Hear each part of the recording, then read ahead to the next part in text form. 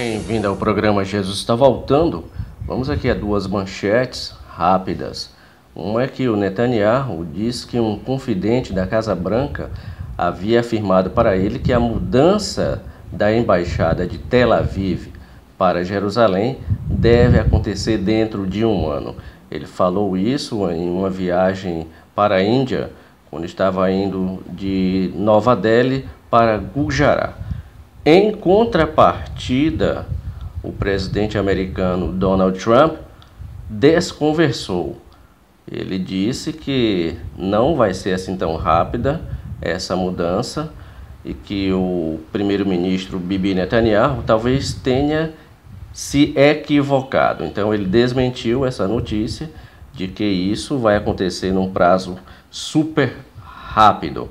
Ele falou também que vai ser uma embaixada que não vai ter tanto custo como é que aconteceu em Londres durante o Obama, que foi mais de um bilhão de dólares. Já Mahmoud Abbas, ele disse quarta-feira, agora 17, que em um discurso que Jerusalém é o portal para paz ou guerra.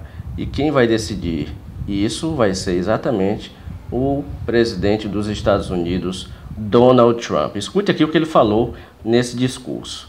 Em comentários, ele fez um discurso abordando a Conferência Internacional Al-Azhar em apoio a Jerusalém, no Cairo.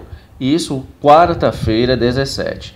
Abbas afirmou que os palestinos ainda estão buscando a paz e usarão todas as opções disponíveis, mas não usarão violência ou terrorismo para alcançar isto.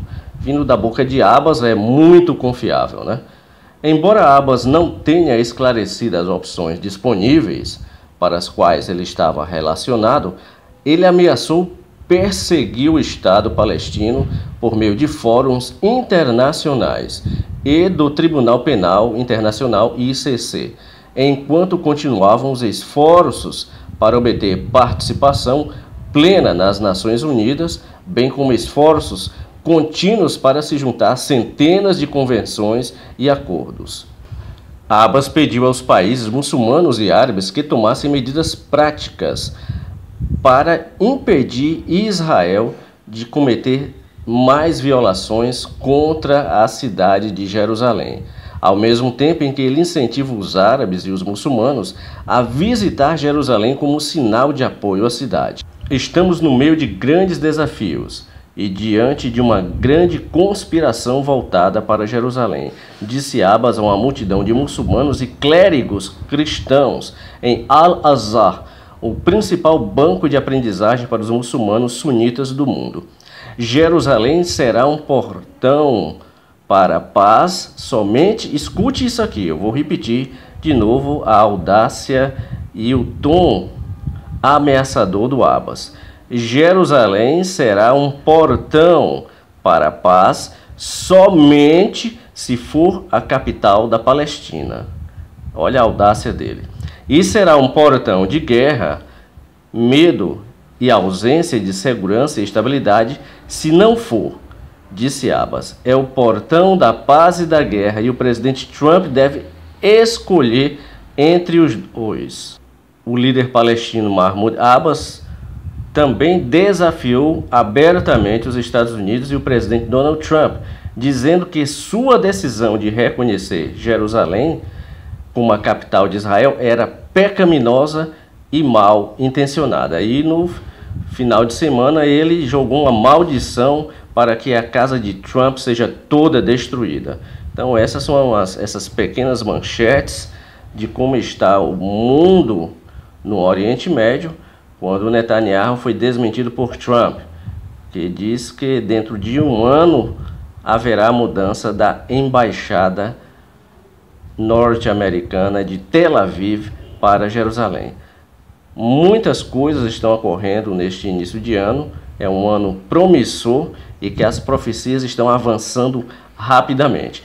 Tem uma outra matéria eu vou relatar para vocês que é uma pandemia que já está acontecendo lá na Uganda e remonta da época dos astecas, 500 anos atrás. É um outro tipo de doença e o que está escrito lá em Mateus, o que é?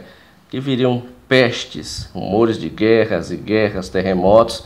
Então, estamos vendo as profecias desenrolarem-se à nossa frente.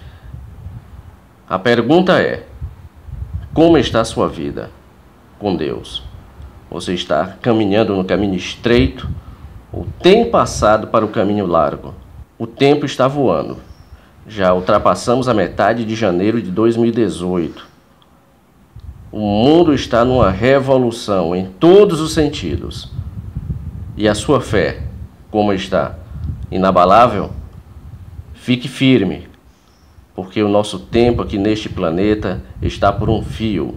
Breve ouviremos uma trombeta soar, e aqueles que têm sido fiéis ao Senhor ascenderão aos céus, romperão a gravidade e estaremos com o Senhor para todo sempre. Uma mesa já está posta. Tenha isso como alvo da sua vida. Participar deste grande banquete que já está preparado para os que são fiéis ao Senhor. Que Deus te abençoe poderosamente.